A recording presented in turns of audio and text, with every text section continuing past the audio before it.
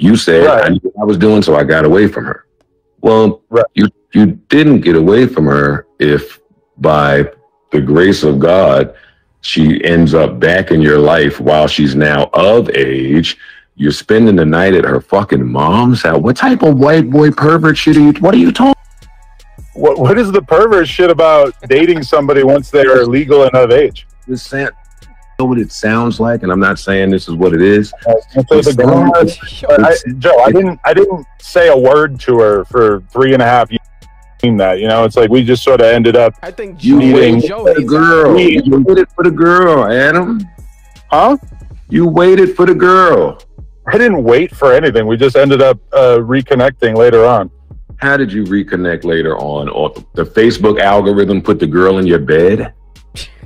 You didn't know. You didn't, wait, you didn't know. You didn't know at that point that you probably shouldn't fuck the girl that you were talking to while she was 16 years old. So because I met her when she was underage, I shouldn't Yes. have Yes. fucked her when I was Yes. over it. Yes. Yes. Yes. That's what I'm saying to you. Well, in retrospect, I wish I had taken that advice. It would have made everything a lot simpler, right? Well, yeah, if you isolate that, right? But then they have the little nasty tweet floating around where you talking about fucking young girls.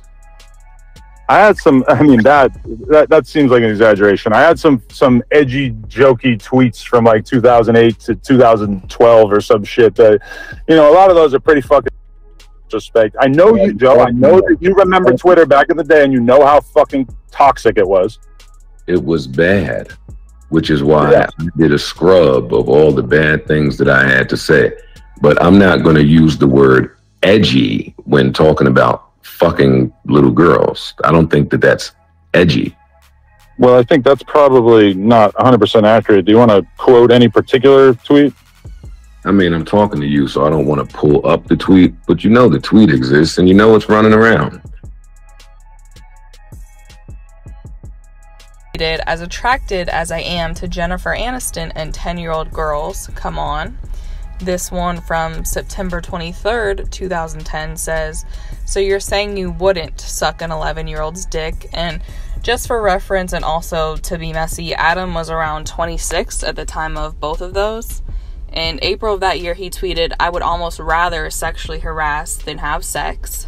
If before I die I can convince a confused teenager to commit suicide, I'll die a happy man. Um, okay then. Some real progression from 2010 to 2011. But Adam says, Can any and all hot high school students stop following me on Instagram? I have enough temptation in my life as is. So it's nice to see that he progressed from 11 year olds to high school, at least. Lord have mercy, Adam. You've got yourself into quite the conundrum this time, buddy.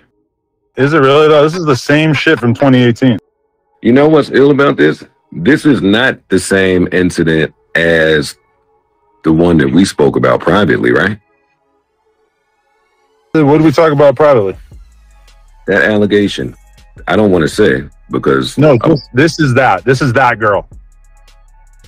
wait a second, buddy. No fucking way. Yeah, bro. Yo, you are a nut. Wait. Wait a second. So when did she say this? So you fucked the girl and then she said this when? So I fucked her in 2008 or whatever, and then 2018 I signed the deal with Atlantic, and that was the first time that I got to find out that she was going to say that I raped her uh, in 2008. So 10 years later, this accusation emerged from from nowhere, and yeah, But not from nowhere because the universe gave you plenty of times to have nothing to do with this underage girl when she was underage. Then she then she got older. Yo, fucked her. She I didn't meet her until she was of age. Let's just make that perfectly Yeah, clear. yeah, yeah, yeah, yeah, yeah. No, but you were speaking to her, I spoke to her once before. and you had friends that referred this girl. Well, see, that's why I thought she was legal, is because I knew other guys that had hung out with her at the time, and I thought that it was, uh, I thought that that was a good reference, but it turned out no. You don't hear how that sounds like some kinky social club shit. I mean, I know you're not like tuned into the punk world, but I'm not. there's a lot of uh, a lot of people sleeping with the same the same people. I would say, especially at that time. Yeah, well, don't bring punk world rules over to our good hip hop conversation, buddy. Don't you try it.